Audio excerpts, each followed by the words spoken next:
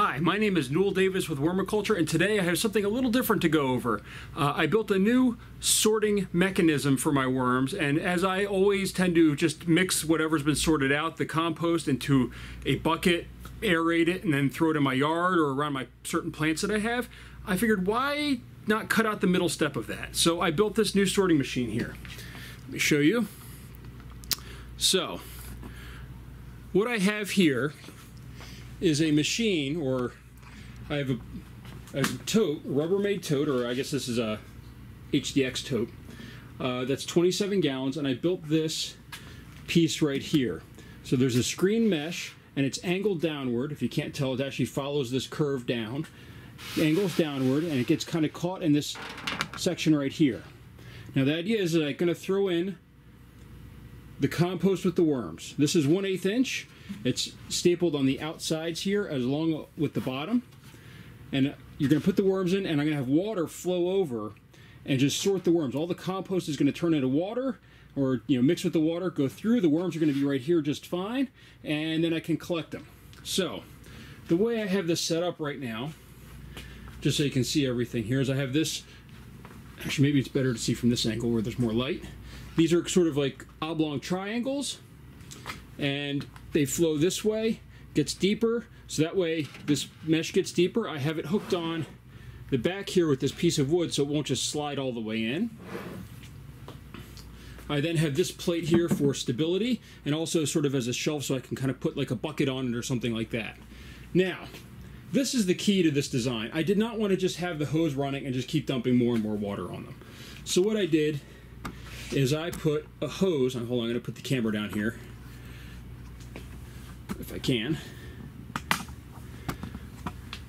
I put a hose on the bottom of this. So I have this hose right here and it runs out and runs to this pump. Now this is a drill pump. I don't have the drill hooked up now, but you hook the drill up here, it spins. The water is going to throw, flow through this line out to this end, and I just hold this up over here, and I can keep putting in water from this back over the worms. And that's going to save me from having to constantly run water over the bin, like fresh water. I can keep reusing the same stuff. I figure what I'm going to do is I'm probably going to have this at an angle upward, so that way the dirty water or the water that's been used is kind of stay over there, and then I won't get any large particles in the the fresh water that's coming out or the water that's still going to have compost in it but not be as bad. So I haven't tried this out yet.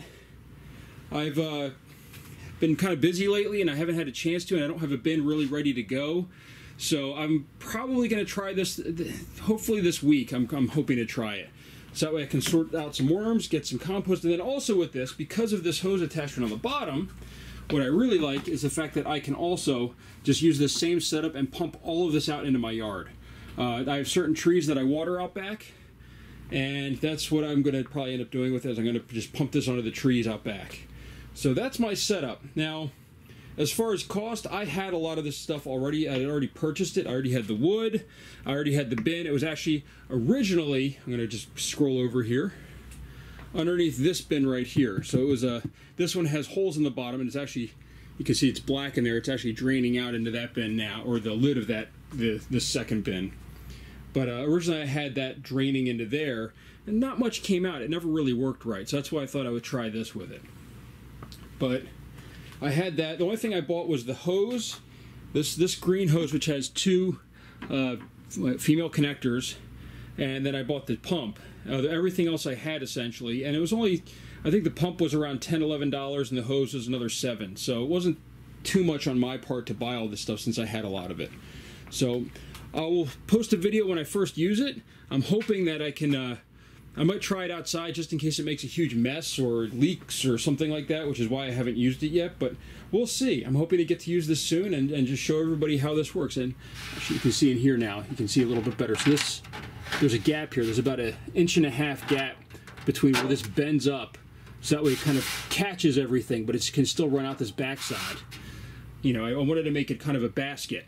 I wish I could have had it a little bit more on the sides, but that would have been really hard to do, I feel. So it would have been too hard. So I'm hoping that I, what I'm hoping will happen is as I pour this in, the worms and everything run down here. They catch on this basket, all the compost runs through with the water, and then I just have a whole ton of worms up here that I can uh, scoop out and, and put into another bin. So I'll let you know when I get this going, and I'll get it get it started for you guys hopefully soon. So thank you. If you like this, please give a thumbs up. If you have any questions about the design of this, please let me know. I don't really have official specs since this was just what I had laying around. I sort of cut up what I had and put it together, but I will do my best. So thank you.